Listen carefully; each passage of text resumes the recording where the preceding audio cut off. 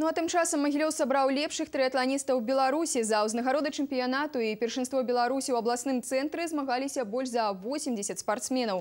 Наймацнейшых вызначалі ў плаванні, бегу і веласпорце. За спаборніцтвамі назіраў Ілля Собалеў.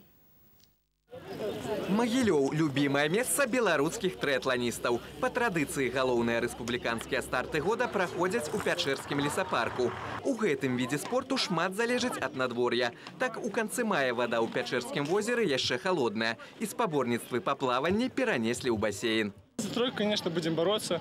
Ну, плавание прошло нормально. Э, Мы улучшили свои результаты. Прошло все как хотели. э, Как хотели.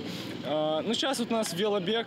Конечно, будет с- с- ну, сложная гонка, потому что ветер сейчас поднимается. Наверное, дождь пойдет. Пасля велагонкі спартсменаў чакае бег. Апошні від праграмы самы непрадказальны. Гэтым і цікавы трыатлон.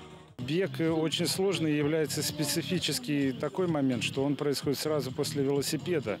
Если мышцы не подготовлены, то бежать сразу очень тяжело. И здесь нужны длительные тренировки, большой опыт, э, много работы. На хатнім турніры магілёўскія спартсмены заваявалі 5 медалёў і ўсе ў першынстве Беларусі. У канцы чэрвеня нашы трыатланісты выступяць у чэмпіянаце Еўропы сярод юнакоў. Спаборніцтвы пройдуць у літоўскім панявежысе. Ілля Собалеў, Мікалай Собалеў, навіны рэгіёна.